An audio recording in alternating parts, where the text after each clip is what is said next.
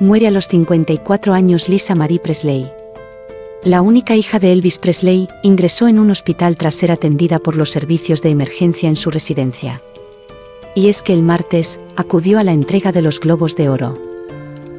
Lisa Marie Presley, Memphis, 1968, la única hija que tuvo Elvis Presley, ha fallecido este jueves en Los Ángeles a los 54 años.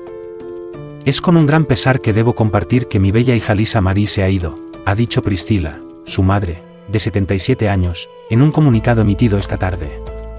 La muerte de la actriz y cantante, que también fue mujer de Michael Jackson, ocurrió horas después de que fuera ingresada de emergencia en un hospital por un paro cardíaco.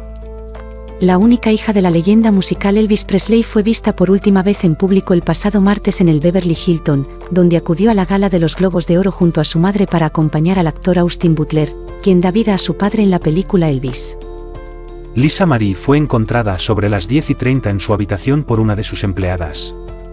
La mujer llamó a los servicios de emergencia, quienes llegaron seis minutos después a la residencia ubicada en Calebsas, una ciudad que alberga muchas de las celebridades de Hollywood, ubicada a 50 kilómetros del centro de Los Ángeles. Un portavoz del servicio de bomberos de la localidad había confirmado a la agencia Associated Press que los paramédicos la atendieron por un paro cardíaco.